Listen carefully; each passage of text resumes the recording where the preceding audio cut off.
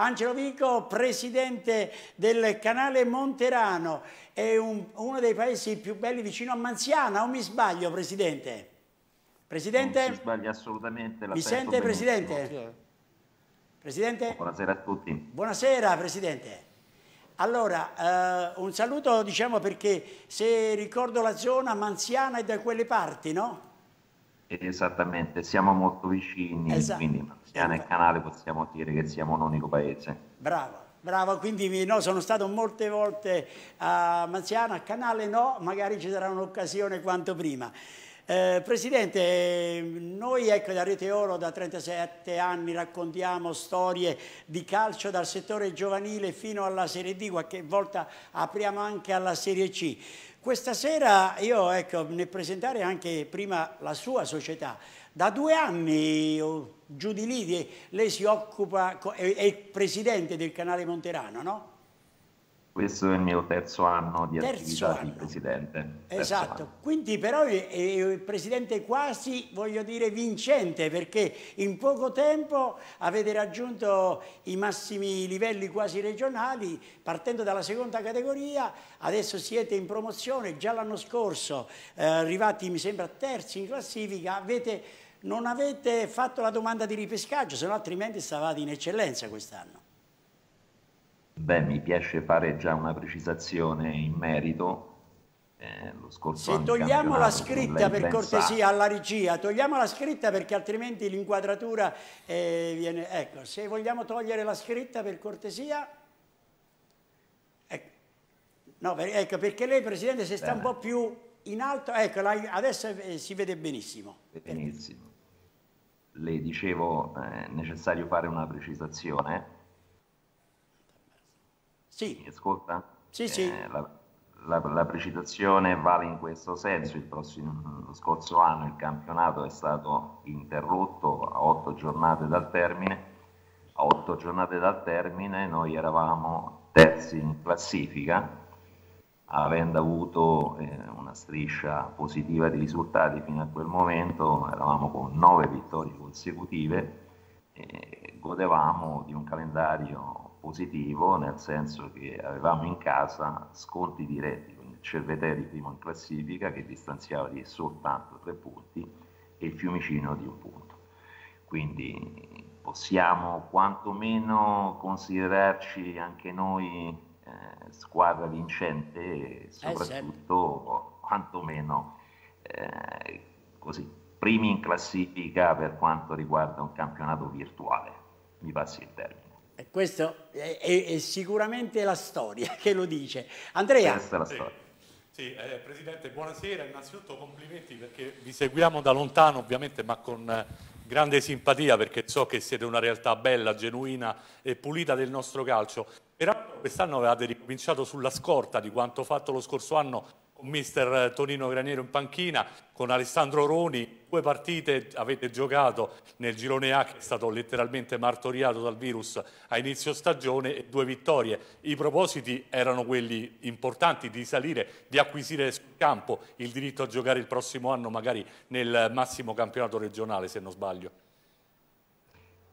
È proprio questo, noi volevamo la vittoria e quindi la promozione nel massimo campionato in eccellenza, guadagnandolo direttamente sul campo.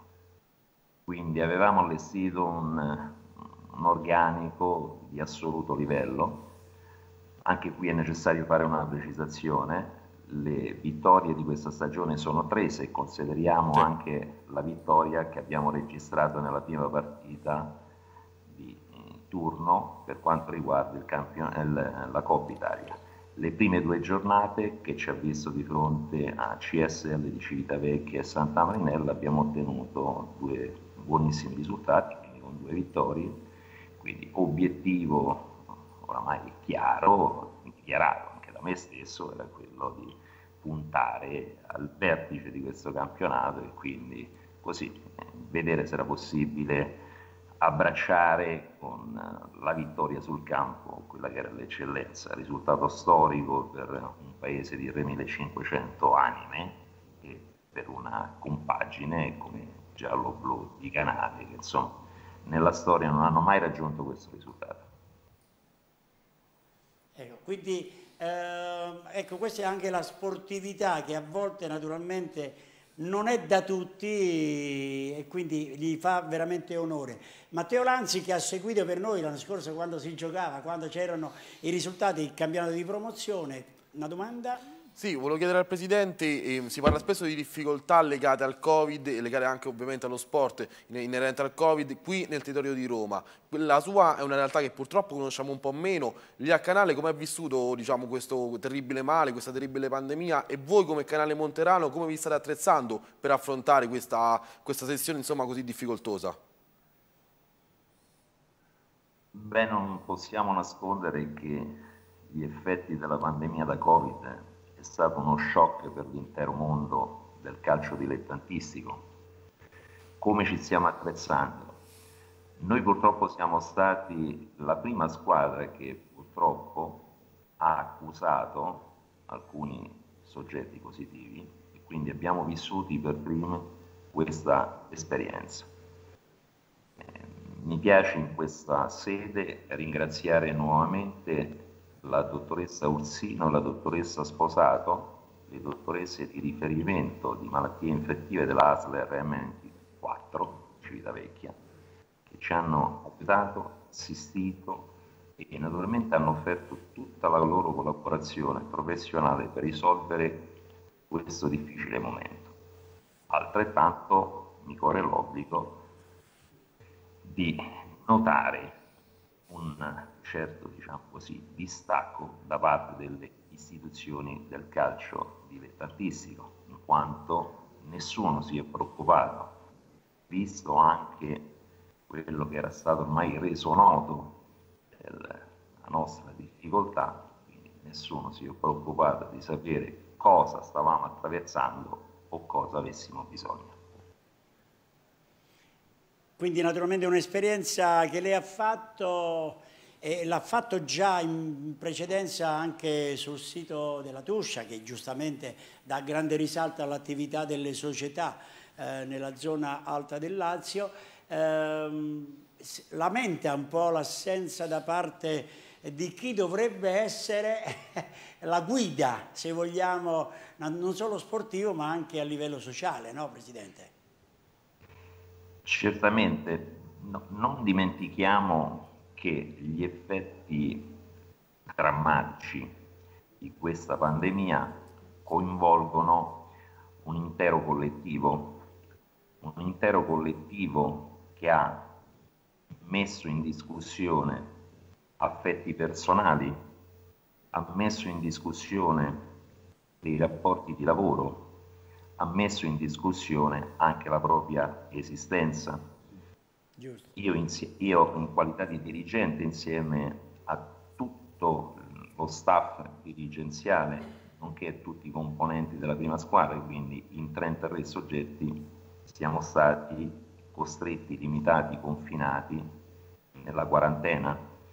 Certo. In quel momento naturalmente era auspicabile avere da parte delle autorità del governo del calcio dilettantistico almeno una guida. Mi risulta che sia stato attivato un servizio di ausilio, ma qui dovremmo aprire una parentesi, si leggeva interpretazione delle linee guida, ricordiamo che le linee guida erano appena sei pagine stilate dal Comitato regionale Lazio, ripeto, era stato ha servito questo, questo, contatto telefonico con il medico fiduciario del Comitato regionale Lazio, che io non ho avuto il piacere di sentire, ma qualche mio collega presidente mi ha riferito che questo dottore abbia una specializzazione in oculistica. Ora, io sono un commercialista, vorrei naturalmente avere il massimo rispetto dei ruoli, però in questo caso sottoposti per primi a questo effetto disastroso della pandemia avrei voluto essere supportato e confortato anche da un medico specialista, quali persone io ho trovato, ripeto, la dottoressa Uzzino, grandissima professionista, grandissima specialista. Tutto qua.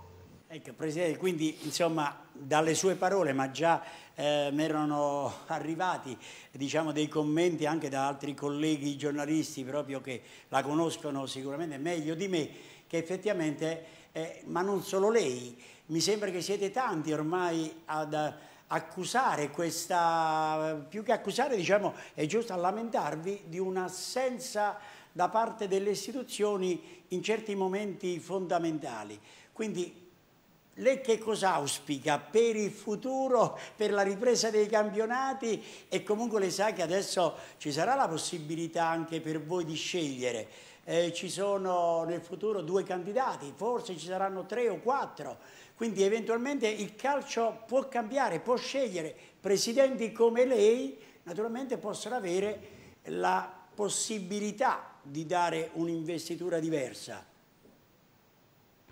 Ma guardi, anche qui è necessario fare delle precisazioni. Da parte mia nessuna accusa, sono soltanto delle critiche su quello che è stato l'operato. Certo. Di recente il Comitato regionale Lazio ha parlato per lo più tramite dei comitati, tramite dei comunicati, comunicati in cui venivano riassunte tutte le varie azioni che si erano succedute da quel marzo 2020. Certo. Ora, sinceramente, eh, noi oggi eh, siamo di fronte a un passaggio epocale, non dimentichiamo che la scorsa settimana è stata varata ormai la riforma dello sport, cinque decreti esatto. su sei 30, doma 30, novembre sì. domani, no Presidente? Esattamente, 30... esattamente. Il secondo, il secondo decreto disciplina proprio l'assetto delle associazioni sportive dilettantistiche, il quarto decreto riguarda l'ammodernamento delle infrastrutture e quindi degli impianti sportivi. Bravo. Non ci sarà più il vincolo di preparazione, quindi si apre tutto un capitolo per quanto riguarda il settore giovanile. Eh certo. Non sarà più tenuto il registro CONI, ma si andrà a un nuovo requisito dettato dal Dipartimento Sport e Salute. Salute. Quindi si apre un nuovo processo, si apre un'epoca innovativa dove a mio modesto giudizio è necessario avere una nuova classe dirigente dove ci siano nuove risorse mentali, economiche, di studio, di progettualità, di programmazione. Qui quello che è mancata è la programmazione, la pianificazione. Ci stiamo rincorrendo da una settimana all'altra, da un comunicato all'altro, si parte, no, ci si ferma, no, avete dieci giorni, abbiamo il piano A, il piano B, il piano C, ma dove sono questi piani? Nessuno ci ha chiamato, nessuno ci ha contattato. Qui non si parla di concertazione, queste sono delle gravi mancanze da parte di un organo che deve naturalmente disciplinare e governare l'intero mondo del calcio dilettantistico. E poi in ultimis mi permetta una critica da parte di un modesto e umile commercialista Qui parliamo di un comitato regionale Lazio e per tale si intende un organo che ha personalità giuridica, non si conosce un bilancio, si mettono sempre avanti questa pochezza o mancanza di risorse per poter naturalmente investire sul nostro calcio, ma nessuno sa quanto si spende, nessuno sa quanto si incassa. Allora ci vuole molta più trasparenza. Ora, alla vigilia di quello che sarà l'appuntamento per il rinnovo delle cariche per quanto riguarda la dirigenza del Comitato regionale Lazio, ben venga che ci siano due, tre o quattro candidature. Siamo certo, stanchi oramai certo. di vedere una candidatura alla bulgara, parliamoci chiaro, non sono soltanto io a dirlo, oramai sono tantissimi presidenti, ci sentiamo quasi tutti i giorni. Se c'è una cosa che è riuscito a ottenere il presidente Zarelli è quello di mettere d'accordo presidenti, allenatori e giocatori. Siamo oramai stanchi di essere messi da una parte. Vogliamo anche noi quantomeno partecipare a questi processi di innovazione. Ripeto, è necessario avere la concertazione, è un momento difficilissimo, benissimo. Io già l'ho detto al Presidente Zarelli nell'incontro e nello scambio di, di note ufficiali e riservate che c'è stato tra me e lui. Benissimo, parliamone, noi siamo a disposizione, certo. ma non c'è stato momento emotivo di persuasione e questo me ne dispiace. Ma mi sembra, Andrea, c'è eh. poco da aggiungere no, perché penso che no, è stato chiarissimo. Ma tra l'altro io penso che il Presidente abbia perfettamente ragione, è in un'ottica di pluralismo, eh, ben venga la ricandidatura del Presidente Zarelli, ma ben vengano anche quella del Presidente Lardone e, e io aggiungo anche quella di tutti coloro che hanno voglia e desiderio di dare un contributo efficace alla crescita, alla ripartenza del nostro calcio, perché noi ci troviamo di fronte, direttore, io batto su questo tasto, in un momento dove effettivamente ci viene offerta, in un momento tragico per il mondo, ci viene offerta e garantita la possibilità di creare nuovi presupposti. Se non ora, quando? Io Bravo. mi chiedo e vi chiedo. Esatto, Presidente, c'è anche Massimo Coniardesi che naturalmente da esperto dirigente di lunga data, Presidente, ma mi tolga una curiosità, lei da tre anni, quindi diciamo almeno uh, vive il calcio come responsabile numero uno della società, ma prima già ha fatto parte, faceva parte come dirigente oppure ecco, si è avvicinato subito da Presidente, quindi ha dato un input anche organizzativo sicuramente importante per la società. Eh, io sono tre anni naturalmente che ho assunto la presidenza del canale Monterano sì. Calcio, ho avuto altre esperienze, ho avuto esperienza anche come fiduciario nel comitato provinciale CONI e quindi, eh, bene, bene. Ho, quindi ho, ecco, ho, ho quantomeno piccola esperienza da poter mettere a disposizione per migliorare e per aiutare questo mondo. Bravo, bravo Presidente. Eh, Massimo, ecco, finalmente dico, ci sono presidenti che, ma non dico il coraggio, coraggio di che? Che bisogna dire che è, sono cambiati i tempi, bisogna adeguarsi. Chi si adegua è giusto che governi, chi non si adegua, ahimè. L'importante Presidente è che i suoi colleghi e in passato poi si lamentano è l'occasione, ci sono altri quattro anni poi da aspettare. Quindi la scelta sta a voi presidenti. È inutile che poi eh, le solite lamentele, a parte gli arbitraggi, che insomma lì non c'entra nulla il presidente, altrimenti non, vi dove, non, non dico lei perché ho capito c'ha idee chiare, ma i suoi colleghi la devono far finita di lamentarsi, insomma, no? Hanno il diritto. Dicevo, le posso assicurare che questo è un movimento che sta assumendo delle dimensioni sempre più ampie giorno dopo giorno. Ah, Ci siamo naturalmente interfacciati, Quindi... tutti siamo naturalmente finalizzati in questa direzione. Oggi più che mai è necessario avere una programmazione. Oggi come mai è utile avere concertazione, è utile ad ascoltare, non è più possibile pensare un uomo solo al comando e se c'è qualcuno Bravo. che pensa di assicurarsi qualche posto al sole, penso che questa sia l'ultima avventura. Beh, idee molto chiare, anche sicurezza. Io dico questo perché le amicizie, i contatti, la vicinanza su Roma, la provincia, eccetera, la, la conosco, però so pure l'esperienza che mi dice in provincia, in provincia Viterbo, Rieti, Latina, eh, Frosinone. Frosinone, eccetera, c'è una realtà che è lontana poi da avere, io mi auguro che arrivi la voce in tutta la regione. Le, e le idee chiare come le sue. E noi siamo ben felici di poter dare la possibilità, da fare da megafono naturalmente a tanti altri suoi colleghi che non vi conoscete di avere questa possibilità. Prima di salutarla, Massimo.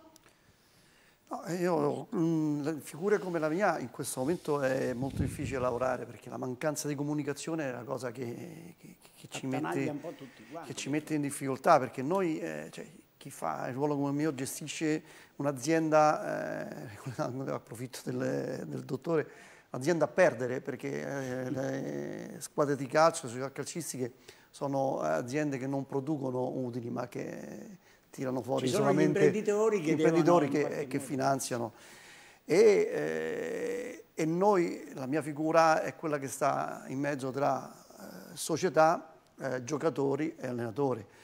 Eh, non sapere che cosa bisogna fare in questo momento è difficilissimo perché io, noi non ci alleniamo da eh, ormai cinque settimane eh, ovviamente ho i giocatori che, che, vorrebbero tornare ad allenarsi per tanti prenne motivi e la società eh, che per altri tanti motivi, tra cui il primo, e assicuro che è così, è quello sanitario, perché attivi sono eh molto certo. attenti a questa cosa qui, eh, che, che tengono duro, anche perché qui manca una cosa che, che, nessuno riesce a dire, cioè il giorno X eh, che si potrà ripartire, qui non lo sa nessuno, non lo può Ancora sapere no. nessuno. Ecco. Qualche comitato si è espresso in passato dando di, linee di io guida non, gennaio, ecco, febbraio Io non la vorrei speravo. fare troppo facile, ma a me mh, mm, mh, mm, sembrerebbe così semplice dire il giorno X che non lo sappiamo, eh, ci avrete tutti quanti a disposizione due settimane, tre settimane, quattro settimane di allenamenti per poter poi riprendere, ma nel frattempo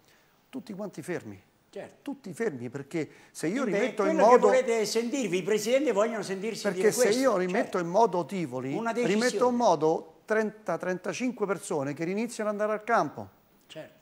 E, e, e, rimetti, e, i contagi ritornano di nuovo a rischio. Certo. Allora io no, no, Oggi conclude. ci salviamo, abbiamo messo tutto quanto a posto, noi siamo stati fermi cinque settimane. Però io volevo sapere, quanti... prima di salutare il Presidente, sì. ecco, esprimerti su quanto il contenuto diciamo, dell'appello che fa il Presidente. Beh, è, è, normale, si sa che ovviamente i cambiamenti poi portano sempre, eh, portano sempre delle, eh, delle, novità e portano sempre...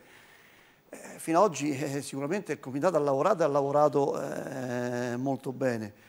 Eh, queste nuove disposizioni, questi nuovi decreti cambieranno tanto e sicuramente, probabilmente sarà bisogno di, di qualche cosa di nuovo. Eh, su questo okay. non c'è dubbio. Allora, noi continuiamo, fra poco avremo anche da Terracina direttamente Pierpaolo Lauretti, allenatore del Nomentum.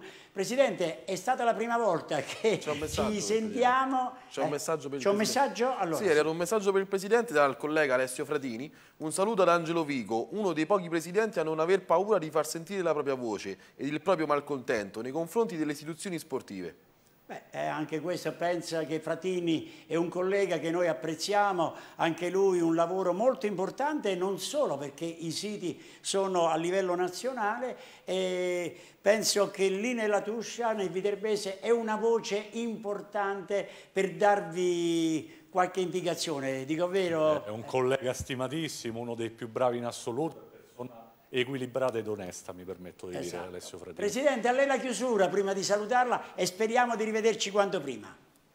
Allora, io vi ringrazio per tutto il tempo che mi avete dedicato, per tutta la disponibilità che avete offerto al canale Monterano Calcio. Assolutamente. Mi auguro che non sia l'unica no. ultima volta che ci vediamo. No, dobbiamo aspettare i festeggiamenti, Presidente, perché io a Manziana ci vado sempre volentieri, quindi Benissimo, allora sarà canale. gradito ospite, questo io lo posso assicurare.